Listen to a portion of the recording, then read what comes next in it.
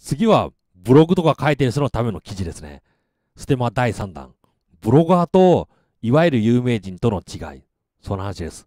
前回の話では、口コミとはレフリーのような中立的な立場が必要で、メーカーからお金をもらって商品を使っていることは、試合の買収のようなものと話しました。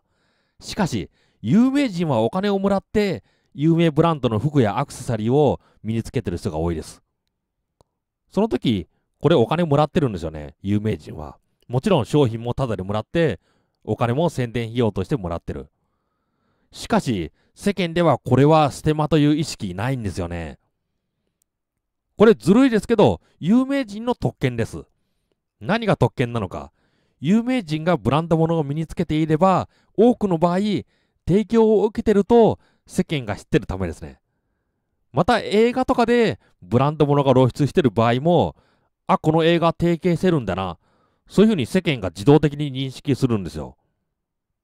その一方で、ブロガーとか YouTube などの動画レビュアーの場合は、まだまだ一般人として扱われてますね。このため、あの、紹介してるものとか身につけてるもの、そういうものは完全なる自由位置で買ったと、その見てる人は思ってるんですよ。そう見られてるんですよ。だから、企業提携、例えば企業から何かもらった場合に、身につけてしまった場合、その場合、企業からもらったなんていうことが分かったら、あ、ステマだ、ステマだってことになっちゃうんですよね。だから仕方ないですけど、このブロガーや動画投稿者は、もう一般人であるという認識を持って、このメーカーから商品提供されないという認識を、その世間が持ってる。そういうふうに考えた方がいいですね。だから、一般人が商品提供を受ける場合、しつこいぐらい提供を受けてますと、アピールする必要がありますね。例えば、このものいいですって言った場合、自分で買ったものだったらいいですけど、あのメーカーからもらった、販売会社からもらった場合は、もう最初にどこどこから無償提供されました。どこどこから提供されました。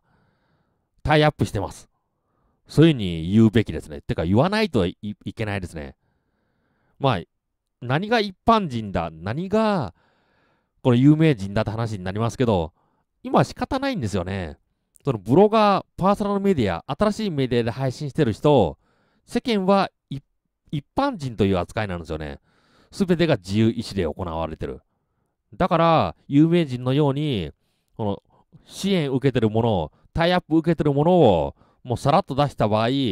タイアップだと感じてくれないんですよね。それもしタイアップだと感じたら、タイアップ、有名人だったら、あ、タイアップしてるんだっていう感じで流されますけど、一般の人だと、何捨てもしやがってって話になるんですよね。だから、メーカーから物をもらってレビューする場合、その場合、もらったこと、最初に言っとくことが良いというか、するべきですね。それで最終回、次回は、なぜステマが悪いのかを皆さんで話し合う。それについて説明したいですね。まあ、やっぱし話し合いをしないと、本当に身につかないですからね。